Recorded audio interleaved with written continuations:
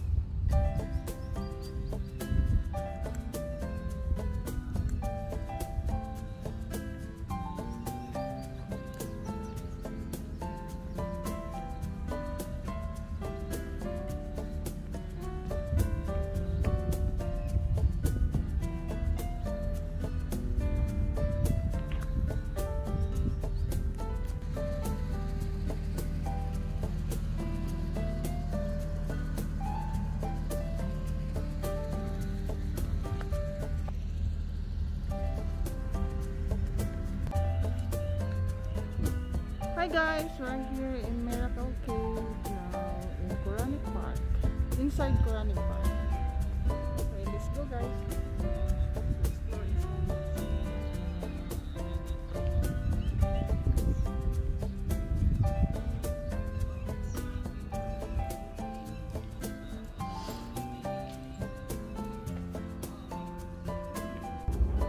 Dito pala sa uh, Miracle Cave guys, may bayad yung entrance niya.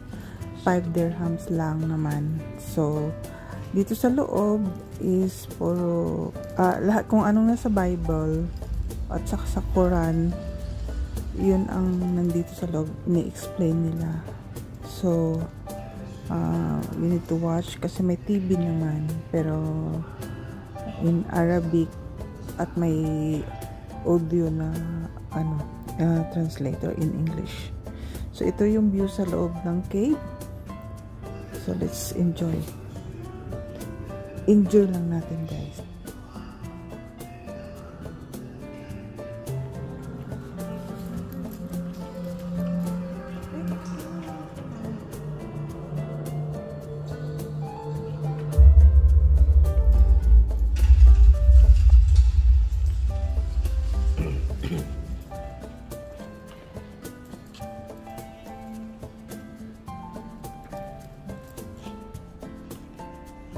Pasensya na guys, madilim kasi dito sa loob kaya hindi masyadong kita hmm. yung TV, uh, monitor. So, basta yun. Kung anong nasa Quran or nasa Bible, yun ang pinapakita nila dito. At kasama dun si Jesus Christ dito sa his, sa story nila.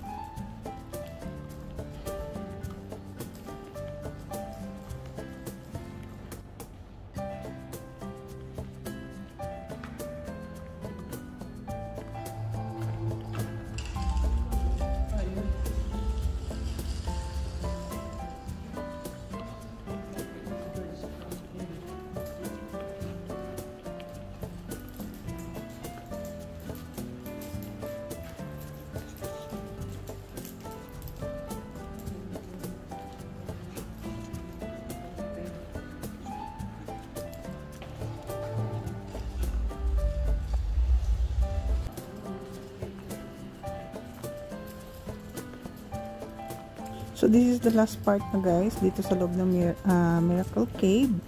So, lalabas na po kami. So, I hope you enjoy guys.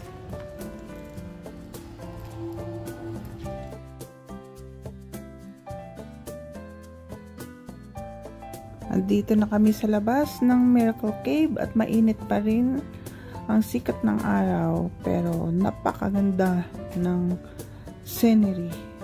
Uh, para bang alam mo yun fresh air ang sarap sa pakiramdam. Yung alam mo para bang hindi mo na feel na may pandemic. Para kang nasa paraiso lang.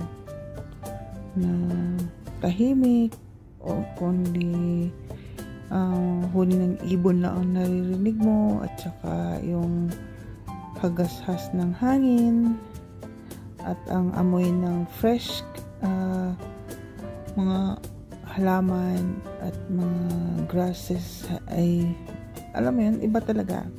So masarap sa pakiramdam siya. Nakaka-relax talaga siya guys. So I hope you enjoy itong vlogs na to. At um, I hope one day na mabisit din ninyo itong lugar na to at ma-explore din ninyo. Maraming salamat guys sa pagsama nyo sa akin. Till next vlog, goodbye! Stay safe everyone!